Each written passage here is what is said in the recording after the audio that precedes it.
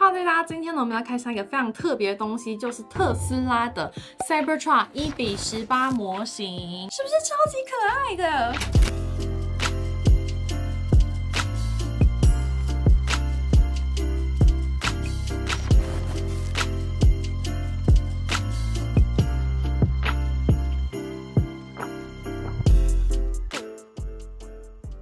真的，我在网络上看到它的时候，我就想说，我一定要得到它。所以，我们今天呢会分享说为什么要买它，然后我怎么得到它。那当然呢，我们也会分享它的一些设计的细节哦，因为它真的非常的精细，包含它的后车厢什么都可以打开。我们今天呢就一起来好好开箱这一台 Cybertruck 一比十八模型吧。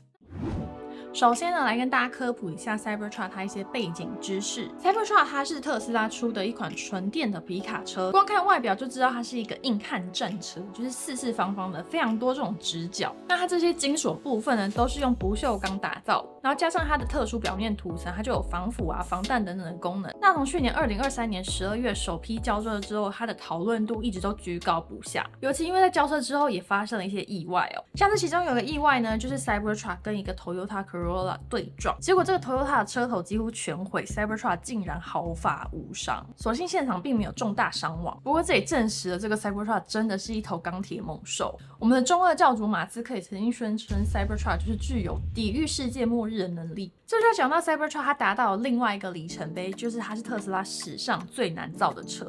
其实，在二零一九它首次在发表会出现的时候，我第一次看到，我就觉得这个东西不可能会量产吧？它应该就只是一个概念车那种东西吧？就大家知道那种像展场那种车子啊，很多其实都只是一个概念。就我不觉得它真的会出现在路上。那为什么 Cybertruck 会很难造呢？你可能以为是因为它的形状怪异，所以很难造出来，对不对？但是其实这怪异的形状只是一个结果。原因呢，就是因为它的这个车体金属都是不锈钢，而且它有一个非常酷炫的名字，叫做超硬三十倍冷压不锈钢。对，那是它的名字。那不锈钢做成的这个车身强度一定是要高于一般的钣金，发生碰撞的时候也不太会变形。就像我们刚才讲到那个 Toyota Corolla 对撞，而且相较于其他金属呢，这种冷压的不锈钢它的强度又在更高。就连 SpaceX 的新舰表面也是使用相同的金属，也就是说呢，这是航空等级的材质哦。我真的觉得马斯克是一个天才跟疯子的结合体。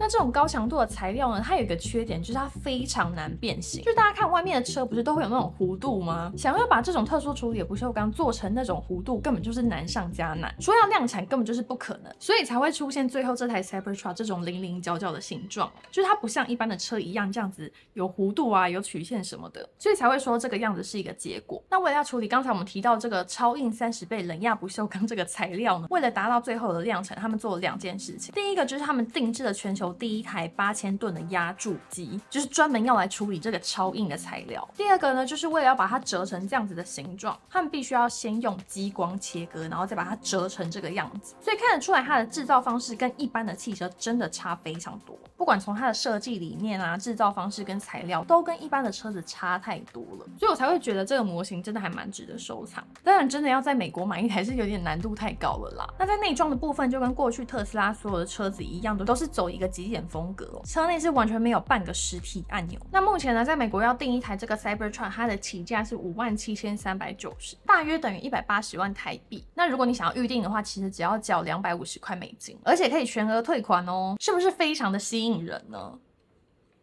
那首先呢，我想要先讲一下为什么会买这个模型哦。其实我一直都不是什么很狂热的特斯拉粉，然后对于 Cybertruck 的印象也是大约知道，但是不会说哦，真的很想要去美国做一次看看啊什么之类的。然后我也一直都不知道有这个模型的存在，直到我看到美西太太的动态。美西太太就是专门做车子，尤其是电动车相关的测评啊以及影片的 YouTuber，他就带着这个超可爱的模型跑去跟真正的 Cybertruck 合照。然后我看到他的那一瞬间，我就想说，我一定要得到它。然后我的想法是，我觉得我们的工作是真真的很。需要一台这个 Cybertruck 当做我们的。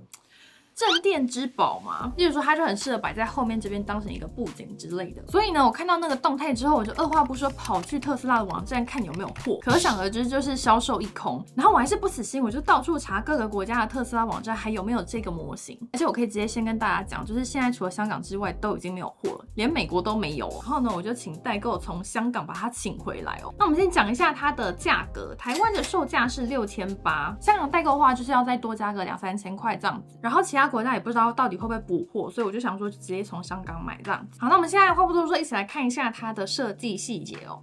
那首先第一个特点呢，就是它总共有一百八十多个压铸金属跟塑料所铸成，就是它里面是有真正金属的，所以它还蛮重的，它的重量有一点五公斤哦。然后呢，它精致的程度真的让人非常的惊叹，就是它的这个车门是可以打开的。哒哒。一件很惊人的事情，就是当你的轮子改变方向的时候，它的方向盘会跟着一起动，好可爱哟。然后它里面还有一个仪表板，上面有地图，然后地图的所在位置是德州的奥斯丁。然后超可爱就是里面它的安全带是可以拿起来的，但它不能伸缩啦，就是也没有做到那么夸张。然后再来，大家看到上面的这个全景车顶，它前座跟后座的这个塑胶透明背板是有不一样的设计，就它前面是全透明，然后后面有一点微遮光的感觉。然后我们再看到下面的这个轮胎啊，这个轮胎是橡胶轮胎，其实它是有弹性的，就不像塑胶轮胎是那种死死的感觉，就是它还是会有一点回弹的感觉哦。接下来呢，我们来看后车厢。后车厢真的是它的重头戏哦，就是它后面这边是可以打开的，而且它可以有不同的形式。我们现在把它打开，然后这一块是可以抽出来的。